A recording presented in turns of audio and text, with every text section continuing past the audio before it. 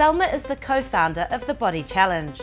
This 27-year-old Egyptian beauty left her desk job to pursue a career in fitness. I realized how amazing I feel after working out. I knew this is something I need to add to my life. Tatiana is a former sports aerobic competitor.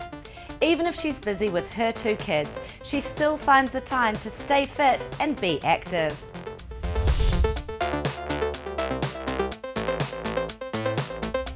Would love to inspire people in the Middle East to lead a healthy lifestyle. It's a great mission and it's an honor to be a part of that. Paula is from Portugal. Her passion for movement led her to become a fitness professional. Here in Dubai, she enjoys teaching group classes, especially to mums like her.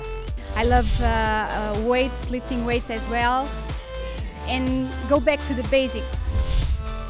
Two-time Olympic athlete Heba is a Neuro Pilates instructor and a fitness educator.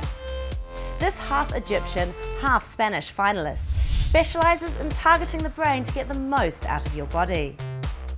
I'm really passionate about the way I train. Inger is a personal trainer and nutritionist from Norway. She loves to sleep, lift heavy and eat chocolate.